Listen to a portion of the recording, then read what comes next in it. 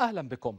لا تزال الحدود اللبنانية مع فلسطين المحتلة تشهد تطورات عسكرية متسارعة لكن الحدث الأهم كان استهداف المقاومة مسيرة إسرائيلية في منطقة بين الخيام ومزارع شبعة المحتلة بصاروخ أرض جو وأصابتها إصابة مباشرة وشهدت بالعين المجردة وهي تهوي. وذلك بعد ثلاثة أيام على إسقاط مسيرة أخرى في منطقة معلوت ترشيحة في الجليل الأعلى التي تبعد نحو 15 كيلومترا عن الحدود اللبنانية. المقاومة الإسلامية في لبنان بقيت على تماس ناري مع العدو إذ أطلقت قذائف الهاون على مقاره في منطقة مزارع شبعة المحتلة وفتحت النار على نقاط الجمع الحربي للعدو في مسكاف عام والمنارة في القطاع الشرقي ورامية وثكنة برانيت في القطاع الأوسط.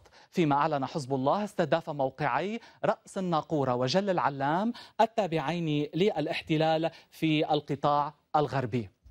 كتائب عز الدين القسام في لبنان أعلنت قصف مدينة نهارية الساحلية بستة عشر صاروخا ومدينة كريات شمونة بستة صواريخ بالتزامن مع إعلان حركة الجهاد الإسلامي سقوط شهيدين لها في أثناء تنفيذهما عملية عسكرية على موقع للعدو في منطقة حانيتا المواجهة لعلم الشعب اللبنانية. على الجبهة اللبنانية أعلن العدو أنه شن غارات على جنوب لبنان. مستهدفا مناطق زعم أنها تشكل منطلقا لهجمات المقاومة على مواقعه المنتشرة شمالية فلسطين المحتلة. فشنت طائراته الحربية والمسيرة غارات على تلال رميش ويارون في القطاع الأوسط وأطراف بليدة في القطاع الشرقي إضافة إلى استمرار قصف الأحراج المحاذية للحدود في المناطق الممتدة من الناقورة حتى علم الشعب في القطاع الغربي.